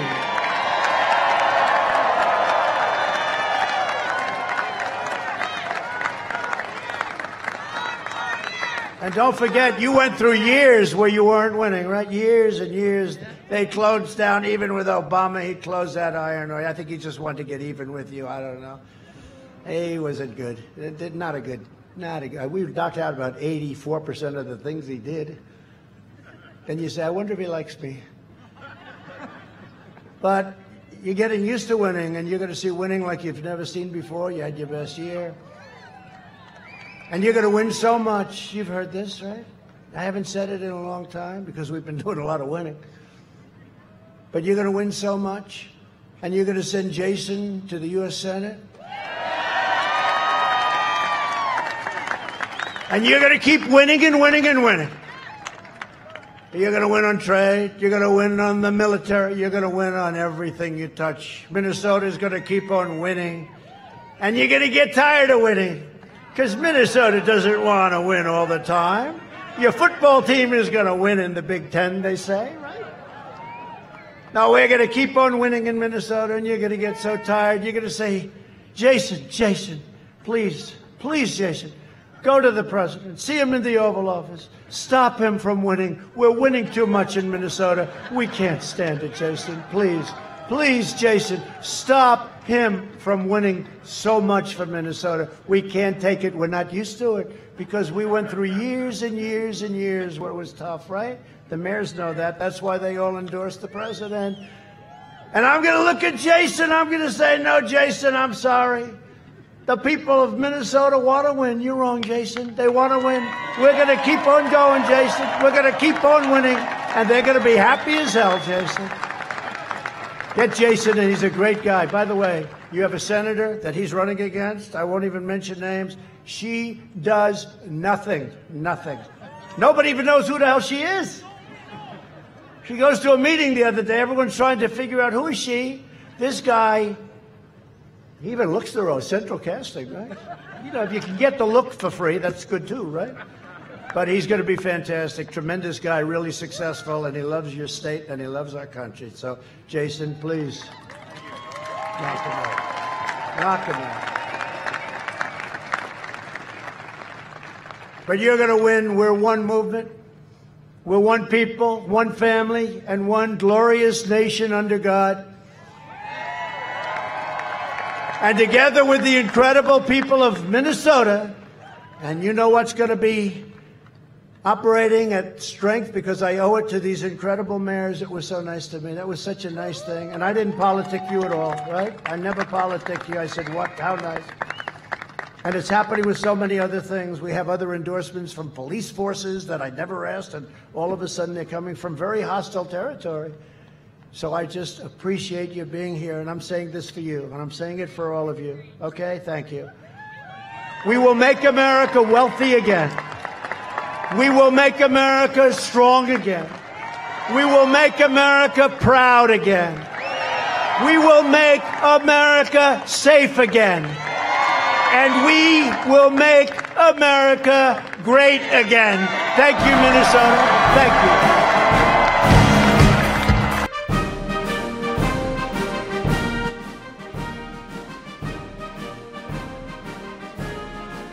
All right, folks, thank you so much for joining us here at Golden State Times. That speech was almost two hours long. Two hours. That is crazy. Two hour long speech, President Trump. And yesterday it was an hour and 45 minutes. But thank you so much for joining us here at Golden State Times. Like I said, if you want more full coverage of President Trump completely and fairly, then make sure you subscribe and you click that notification bell as we are the underground when it comes to news reporting. We are not the mainstream media. We don't want to be the mainstream media. We're not even the mainstream media's friends. So make sure you guys join us by clicking that subscribe button and that notification bell. And we hope to see you guys here next time for more full coverage of President Trump. Have a good rest of your Friday afternoon, folks, and make sure you guys have a good weekend. If President Trump does any anything over the weekend, we are going to be covering it live here at Golden State Times. Thanks so much for joining us once again here at Golden State Times. We're uploading President Trump's speech onto the channel. If you guys missed any of our, previous videos, President Trump news conference earlier today, and also he spoke to the media before leaving to this rally. It should be coming up on your screen. Thank you so much, folks, and we'll see you very soon. We also want to give a big thank you to all the moderators for keeping the chat clean and enjoyable for everyone. We will see you very soon. Peace.